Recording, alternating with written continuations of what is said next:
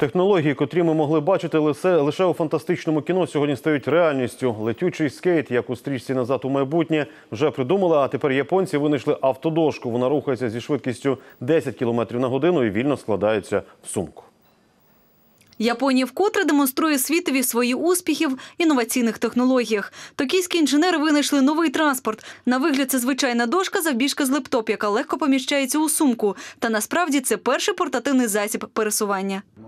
Я подумав, що якби ми носили наш транспортний засіб у сумці, ми завжди могли б кудись швидше дістатись, не зв'язуючись із громадським транспортом або машиною. Це цілком нова розробка, і цим я хочу показати, що Японія країна інновацій.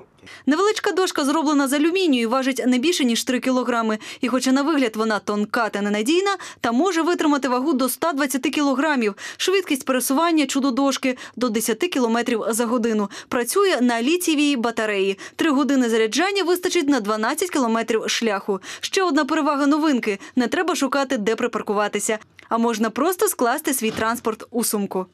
Спеціально вчитися їздити на дошці не потрібно. Пристрій почне їхати, коли на нього стаєш, і зупиняється, коли сходиш. Аби змінити напрям руху, слід лише перенести центр ваги у потрібний бік.